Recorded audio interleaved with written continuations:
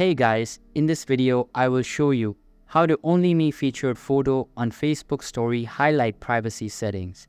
So make sure to watch the video till the very end. And let's begin. If you want to add a feature of only me in your highlights, then first of all, open your Facebook application and make sure it is updated to latest version available. Then go to your profile and look for your highlight. After that, tap on three dots and then tap Edit Featured Collection option. Now here you can see highlights are set to public in my profile. To change it, first of all, tap on these three lines and go to the settings and privacy and select settings.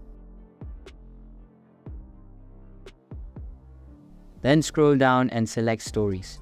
From there, go through story privacy and now you can customize your feature. From here, you can customize who can see. You can make it to friends only and you can also hide story from the particular person by typing their name and selecting it. So that's basically how you can only me featured photo on Facebook story highlight privacy settings. So that's all for this video. Hope you liked the video. Thanks.